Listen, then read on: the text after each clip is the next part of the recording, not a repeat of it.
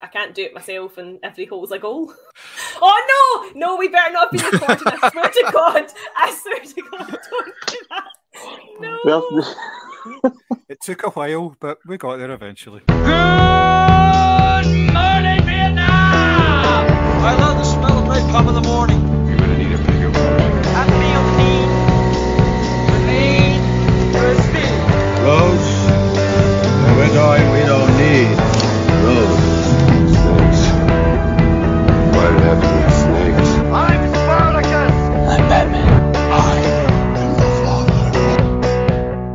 Drinking, Thomas?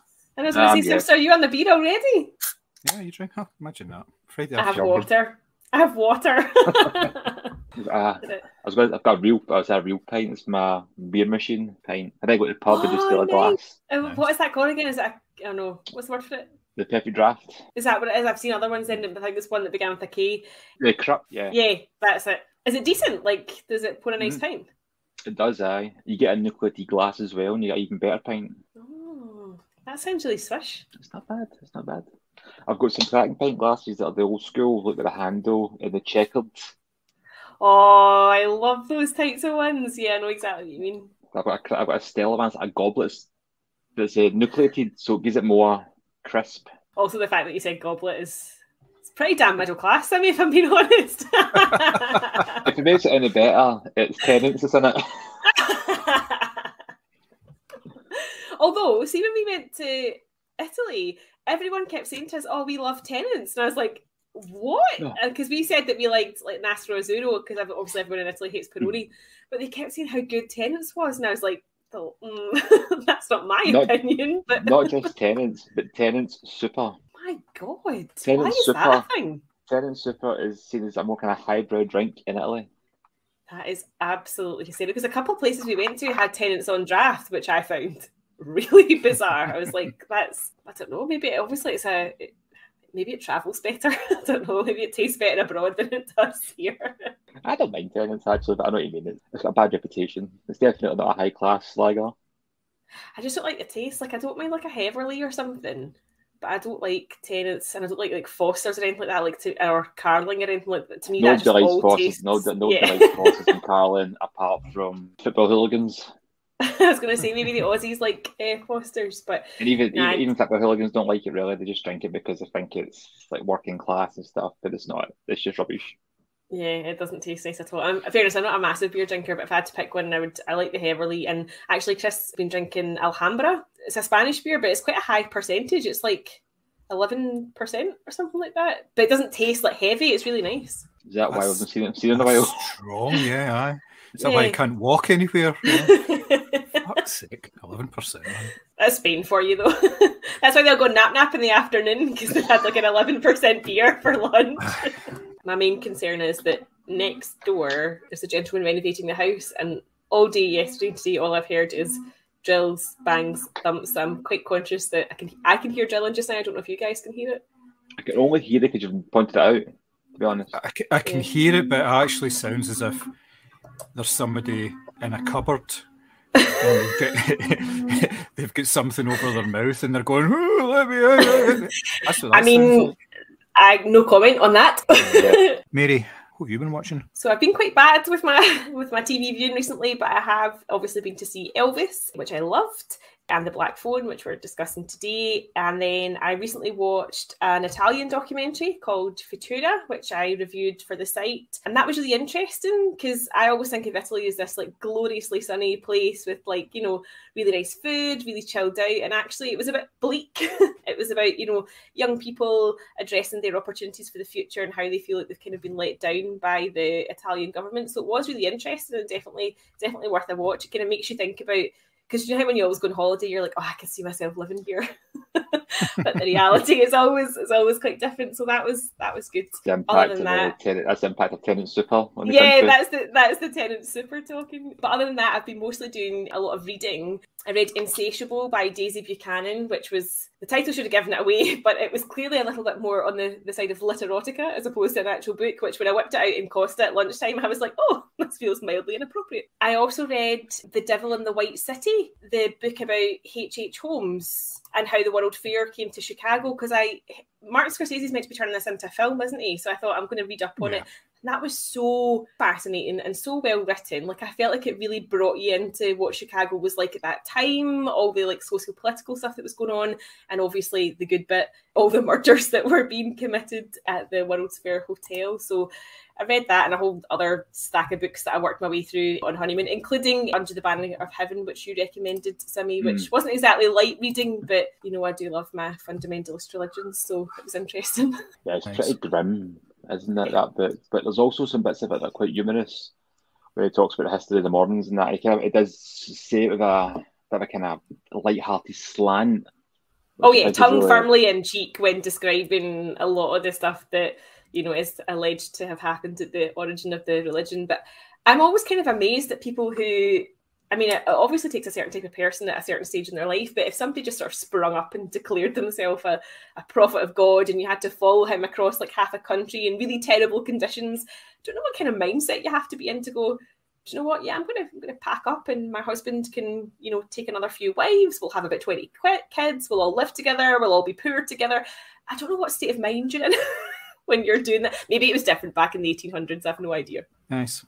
Thomas, what about you? Have you been using your spare your the few the little spare time that you actually have? What have you been doing with it? Apart from touching yourself, naughty boy, don't do that. You'll go blind. Well, they say you'll go blind, but my sight's still pretty good. Yeah, I'm not. I'm not. Uh, Do you know that? Do you know that's why cornflakes were invented? Yes, I did yes, know that. yeah. I always thought that was an urban legend, and it only got confirmed to me recently that that's actually a true thing because they thought that bland food would stop you from having a chunk. Oh dear, sorry, But not just, sorry, but not just that. Conflict still exists, as does masturbation. So, really, who won out of it? That's true. Although I don't think they're going to go with the whole "will stop you from wanking" as their sort of marketing strapline. They really should. I mean, I don't think it, people would buy it as much if that was a marketing slogan. You know. I think I think Snap Crackle Pops would maybe a, a zing to it. Personally, oh, that is you brilliant. know, you imagine like, like go to the supermarket and you're like, I don't need cornflakes. You know, will stop me from masturbating. Bang! I'd rather have a bowl of Cocoa Pops. And that could be the marketing campaign for Cocoa Pops. I don't eat co- I, I don't eat cornflakes, so there, there's that uh, theory. Uh, But what have I been watching? I've been watching Seinfeld actually. I keep kind of dipping in and out of it. I watched Stranger Things. I've caught up at the halfway point of that season four. That's been really good because I, I just wasn't that bothered about coming back. I couldn't remember anything that happened in the previous seasons, and I was like, "This is kind of one of these shows when I'm watching, I enjoy it. When it finishes, I instantly forget about it." Mhm. I have been enjoying this season. though it's a lot more kind of horror based, and so Nightmare on Elm Street, uh, homages here and there, very unsubtly. I mean, I think it's, it's it's very clear, especially with some Oh, of the guest stars they have. I did start watching The Boys, unlike yourself, who's waiting for it to be binged. And yeah, I, I had issues with last season. I thought it was really drawn out. I thought it was some really good episodes, but some episodes were just clearly filler. This, I'm not noticing that. I think everyone's clear, every episode's clearly serving a purpose, and they've really ramped it up. It's Oh, more cra- it's more crazy, but it's also very, very dark. Very dark. That's that's Um, what I've been looking forward to because I do love Anthony Starr. Like I feel like he barely has to like it's almost just like a slight flicker of his eye, and you're like, oh my god, he's going to go absolutely fucking psycho. Like he's so good as Homelander. He really did in real life, didn't he? I wasn't going to mention that in case it was libelous, but okay. It's funny enough, when I, when I heard about it, people were saying people were giving him a hard time cancelling him and that. I was, like, what's he done? Thinking it's some sort of Me Too thing. And then I read it, I went, just a waiter in a restaurant. I mean, who's who's not done that? I feel like you need to start eating cornflakes, Sammy, or lay off Lieutenant Super. Book wise, I've not really been reading much. I've been reading textbooks mostly, but uh, I have been reading uh, Farewell, Farewell to Arms by Ernest Hemingway. oh wow, Like how most Hemingway refined. stuff. Yeah, very much. Like uh, like most Hemingway stuff, it's very, very easy to read, but a lot happening Mhm. behind the words, the, the, the themes in that. Film wise, I've not been into the cinema much, but I did binge watch the Maniac Cop trilogy the other weekend. so inspired by our last pod. Pretty much, yeah. I, I- I just I, so they're on YouTube, so I've got them in DVD somewhere, but they're on YouTube. I went and actually watched them. Watched the first two and thought, should I watch the third one? Nah, fine. And I watched them. I'm like, oh, there's a uh, Rorschach, the Watchman. What's his name again? The actor, Jackie Oh, I know who you mean, but I don't know his name. Jackie Well Hale- Haley. Jackie, Haley? ah, you know what I'm talking about. Uh, he's in it, and uh, Robert Forster's in it as well. I was like, a strange cameo, which leads me on to the last film I watched the weekend was uh, Alligator, starring Robert Forster, which is a brilliant film. It really is. You, you look at me, Mary, going, No, but what is that? I don't know what that is. Alligator. It's kind of Uh-huh. that's what it Is says it in the about an alligator? Have have a guess, yeah. yeah. Is it like Jaw? Okay, sorry, that was a bit of a thick Well, moment. It's, it's, it's like detective noir thriller called Alligator, and it's some kind of like subtext. No, it's like a giant alligator that lives in the sewer, and it was kind of it's a rip off of Jaws. I mean, even the theme music is very similar, but this film, believe it or not, it's got an eighty-three percent rating on Rotten Tomatoes. Does it? It's actually really. It's it's a cult classic and it's quite critically acclaimed, especially for the kind of film it is. And Tarantino apparently hired Robert Forster and based his character, based his character on Jackie Brown from Alligator, and he also got nominated for an Academy Award for that. So Wow. Hmm. Alligator, I have just you didn't know. Sorry, I was just going to say I didn't know if alligator was like a code name, like see it was like a drugs gang or something, maybe like, a, but no, it literally is just an? Yeah, it's just it's just like an alligator. It's, it, it what it says in the tin. It's a really good film though. Uh, he's really good in it. The performances are good. Special effects are, are what they are, but it's all practical. Uh, Billy Maniac Cop. I mean, you watch it now, and some of this makeup's a bit dodgy, but as I've seen these walking through a prison on fire, uh, you know it's a guy on fire attacking people. No CGI, no Wow. computer trickery whatsoever. It's just and the scene's quite long, so you, you can imagine how long they took it. But it's the bits where you see the guy on fire grabbing other people and hitting them. You're like, wow, man, I don't even know if they've got insurance for this. Because you're also watching a B movie and you're thinking, yeah, you wonder how many columns of it can cut. Yeah, a hundred percent.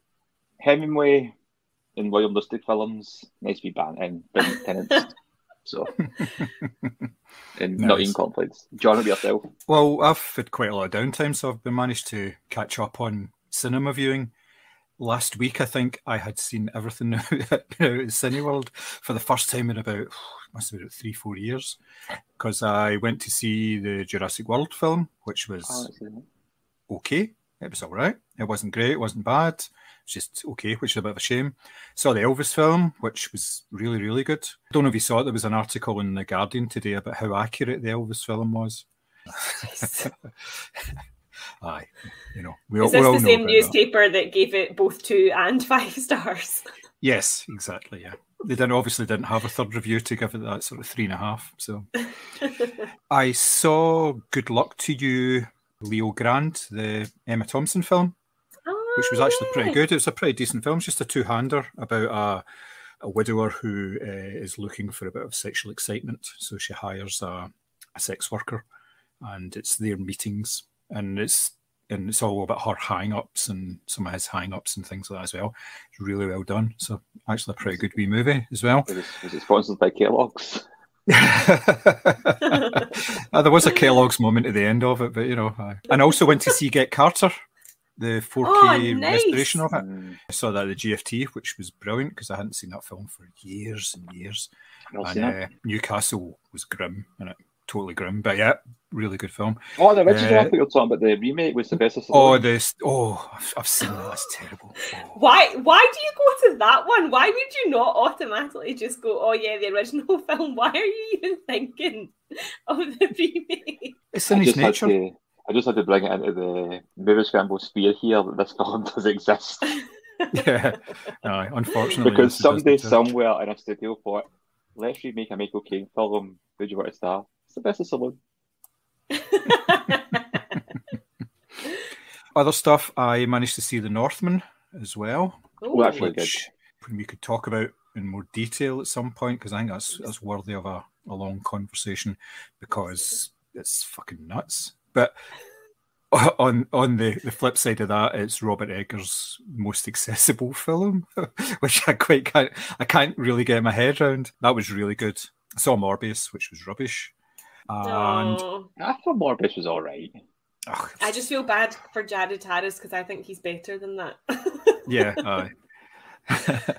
and I saw the Downton Abbey movie, A New Era, which was surprisingly okay. I've never seen the TV show or anything, but Have you not? somehow I knew I knew everything that was going on and. I knew all the characters and people just obviously because it's old people talk about this sort of stuff. So you know, and I hang about with old people. So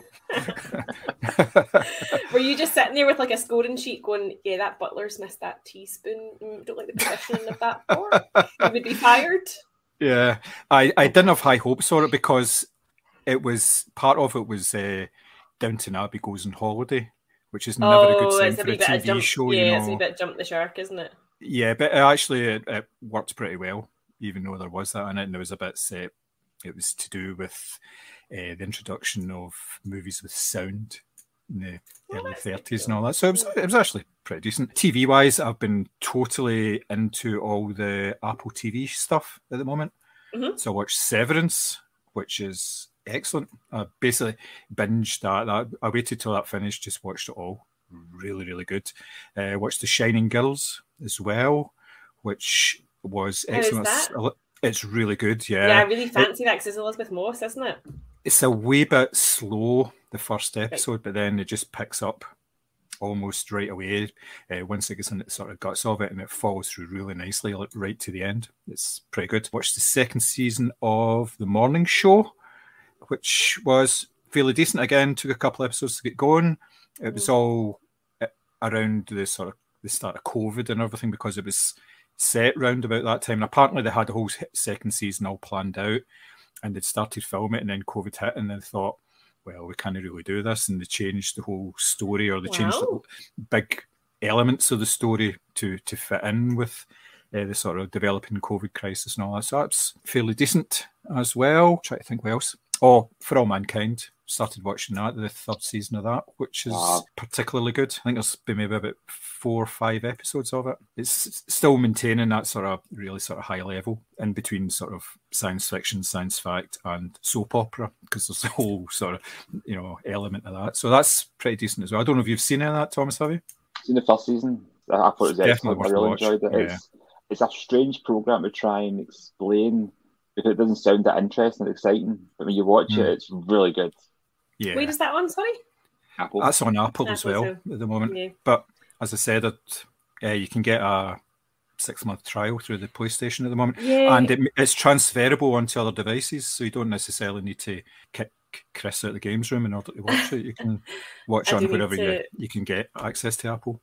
I do need to see that because I want to see season two of Ted's Lasso. Oh, I also I forgot I watched Doctor Strange Multiverse of Madness at long last, and it was so good that I obviously forgot about it. Same But this- actually.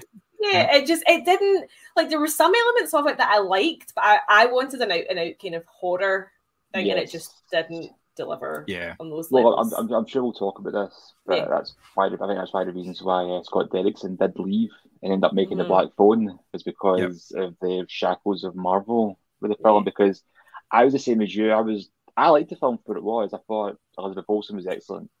She Uh, was. I loved what it She did was with Scarlet Witch. I was expecting that. But for a film called Multiverse of Madness, I was expecting to have mad. yeah. Yeah. There wasn't a, It wasn't, wasn't an off awful the wall, of it madness. Yeah, like- aye, no. yeah. It was quite it's quite safe. yeah, fairly safe Marvel fair, you know, with a wee horror element to it. Mhm. Yeah. There's some nice touches on it with some of the elements that I, I'd rather not spoil. Uh, Yeah. Some stuff in it which I was kind of aware of beforehand, but I didn't really pay attention too much of it. But in, when it came up, I was kind of like, oh, oh, that's quite interesting. That's quite good. But in the the post credit scene, I had to look Mhm. up who that was, and then when I looked at it, Yeah. ah, right, okay, yep, I get that. I understand it now. I'd heard of the character was introduced there as well, so yeah, that was pretty good. So guys, just talk about TV there. Didn't you watch uh, Obi Wan? Yes, I'm gonna I'm that as well. three episodes into that. Just I think I'm just about was to saying, start the fourth one. I think there's six in total, isn't there? Yeah, And they're they're all there now. So Oh, Yeah. are they right? Okay. yeah, My son's yeah, not they're in it though, so I mean, How do you know? because the timeline's Well, I don't know if it's not. Because the timeline's different, is it not?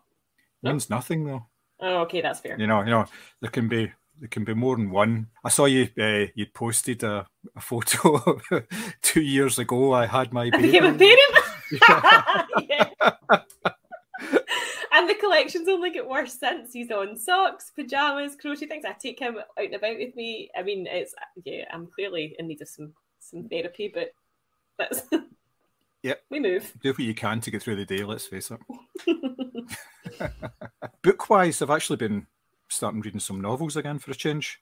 So I've been reading Slow Horses, which I've also watched as well. That's on Apple TV. It's a uh, MI5 drama, which is Yeah, really, really good. So I watched the show, which is only six episodes, and they've already filmed the second season of it, and they're going to do like four apparently, uh, at least four. So that's really good. Really like. Mick Herron. I'm also reading Soji Soji Shimada, which is called Murder in the Crooked House. It's a a locked room mystery. It's a Japanese author, which I've been looking for for a while. It's on this Pushkin Vertigo Mhm. imprint, and they do a lot of translated mysteries and sort of detective things. So I started reading that as well.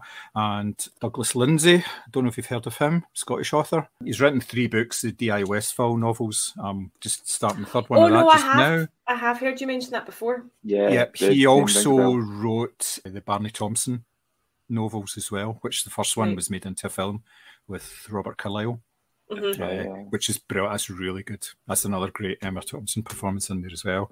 And I've been reading a graphic novel called Sweet Tooth as well, which is the Netflix TV shows based on, Yeah. which is pretty good. I'm enjoying the, the graphic novel. I haven't actually watched the Netflix show, but I'm watching that.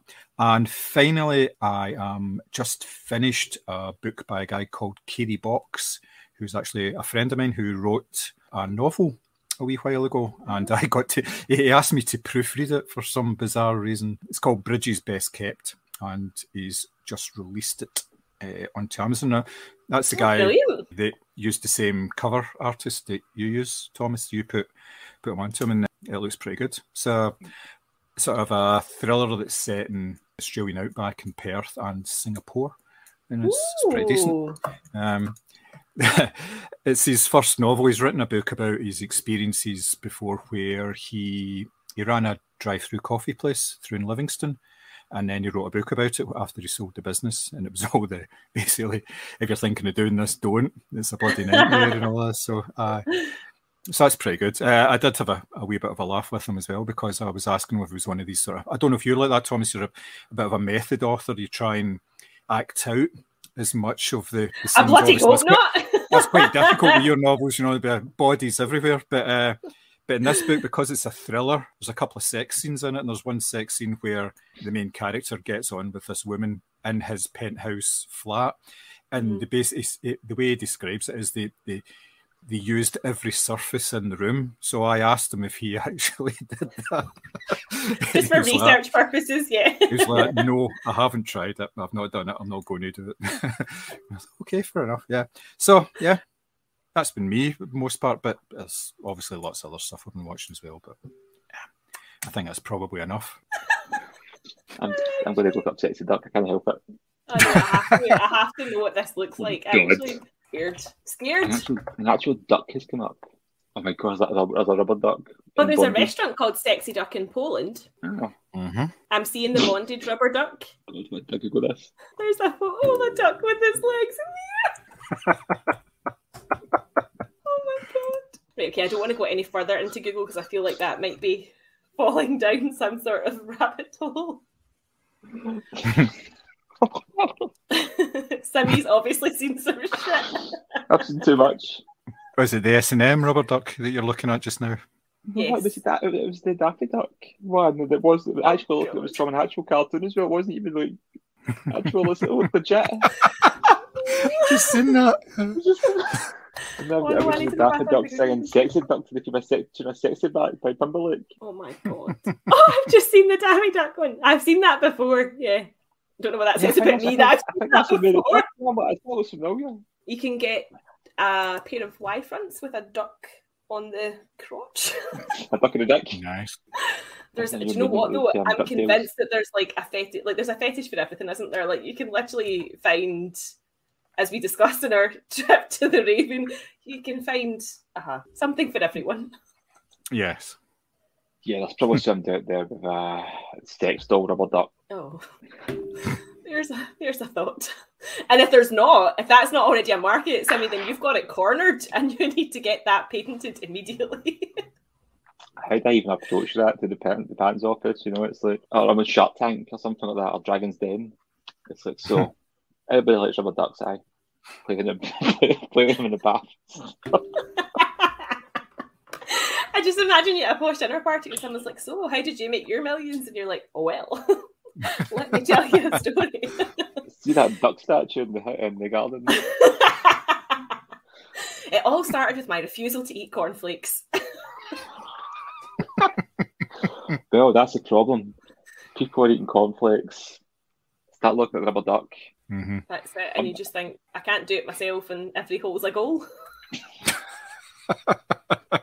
Oh no! No, we better not be recording. I swear to God. I swear to God, don't do that.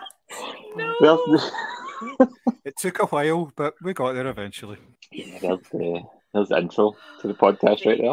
There's the intro to the podcast and every other podcast from now on. I must Not just admit, movie I scramble. really Any listening. podcast is done. I must admit, I did love listening to the deleted scenes because it literally just you see Mary on Tinder. I just thought that was brilliant. Because that Futura came through, obviously, and I thought, oh yeah, I'll give that a watch, and it was it was Yep. really interesting. It was those three directors that did it, and sort of halfway through shooting, obviously COVID and Italy had mad restrictions and stuff like that, so it was quite interesting. But yeah, the, the youth of Italy are all a bit depressed. I was like, oh, nobody thinks they're going to get a job. Nobody thinks they're going to be able. I mean, in fairness, that's people everywhere, isn't it? So it was Mhm. just it was interesting. Black Phone, that's quite difficult to talk about in terms of you don't want to have spoilers or anything, you know. Yeah, that's one thing I mentioned during the, the podcast for spoilers, but I loved the idea that he was doing all these killings with his brothers next door. Yeah. And, And that the brother was on, and when you literally saw the brother's map, you're like, yeah, you have, you've cracked it. The killer is in there. yeah, isn't that those four wee triangles? Yeah. That he just I know you were wasn't saying you kind of like the kind of element as much, but I just thought it was quite funny the idea and just cooked at his nut. Well, he's but his brothers Aye. all these like killings, and he's just fucking out his face, like playing like sleuth. Yeah, yeah, no, I get what you mean. It just it just took me out of it a wee bit, but I did. I get, I get you, I the get what you that- mean. though. I Yeah, do get what you mean. For, for me, I kind of did welcome it, but I kind of levitate it because there wasn't a lot of it. no, Hmm. it as I say, And, the scene with the dad, because I was like, that girl's really crying. I was like, this is making me really uncomfortable because she was actually screaming, and I was like, oh my god, this feels far too real. It doesn't even feel like acting anymore. It feels really. But then, of course, she sort of calmed down when she took the, the bottle in her hand, and I was like, fucking drop it, drop it. She was great. she was really good. It's when she cracked the village So- on the rock. She just I know. next to him. I couldn't believe that. And of course, she's this little sweet thing with pigtails, and she's like, "Come here, you fucking cocksucker!" And I was like, I, I don't. That's even the, the the dad though. I don't know what was worse. The actual belting scene. I mean, she goes to sit down and watch TV. And she's just Mm. sobbing. I was like, "Fucking hell, man! This is this is grim."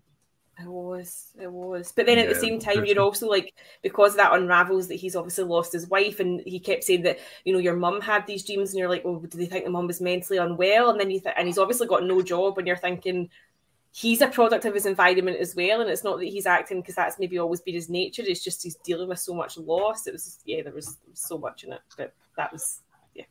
I love the character, the young Latino kid. I can't remember his name now. It was the, the, the tough kid. He was. Yeah. fucking- Yeah. I love that. I love. I love the idea of him kind of like it lets me scrawny kid, but sticking up for him. I love. I love shit like that. It's just dead basics. St- uh, stand by me style storytelling, but yeah. Pardon you, Mary. Oh my god, this has been going on for 48 hours. I cannot deal with this. And I understand that he's bought a house that literally needs to be stripped back to the wires, but it does feel like the drills are going to come through the wall and it's not conducive to actually being productive at work. That was something else I watched actually. I forgot about uh, the Slumber Party reboot, stroke remake. You mentioned that, aye. That was interesting. That was very interesting because, I mean, the first one isn't a great film by any means. You know, it's uh, it's the second one I think is more kind of popular because it's a bit more kind of crazy. The the drug the drug killer is the, the Mm. villain. Just reminded me there. And this really inverts that male gaze aspect of it, and it does it, it manages to do it in a way that's more effective all these gender swap films by not gender swapping anything. There- There's still the female cast all having a slumber party. Then they bring these male characters into it, and there's a, there's a scene, there's this really gratuitous shower scene for no reason whatsoever in the film, of this guy showering. And it works in a kind of parody way because how these films for the, the 70s, 80s slasher films always had this random shower scene for no reason. The mm-hmm. girls open herself up. So it kind of plays in that, but it works really effectively. These these tropes, and it's uh, uh, above all that, it's a very entertaining slasher film. Where can you find it? So What's shut the up. link? Ah, right, excellent. Good. Mm. Oh, Chris has been watching that Eli Roth's is Oh, History of Horror on Shudder, and I happened to come in while he was watching the episode about Mad Scientist, and of course it did The Fly and Jekyll and Hyde. eh, And Frankenstein, and it was a brilliant episode. And I was like, "Oh, I really want to watch this series now because it, it, I actually, I can't remember where I was coming in from. Oh, I'd been at my friend's house, but I sat down and I was like, I want to watch this. This looks great. It is a great series. I'd highly recommend that.